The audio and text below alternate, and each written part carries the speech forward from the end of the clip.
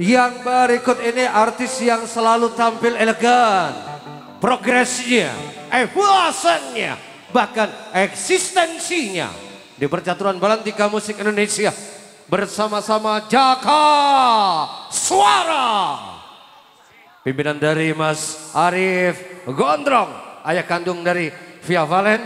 Untuk yang berikut ini. Puput Fas Ria masih bersama Jaka Suara.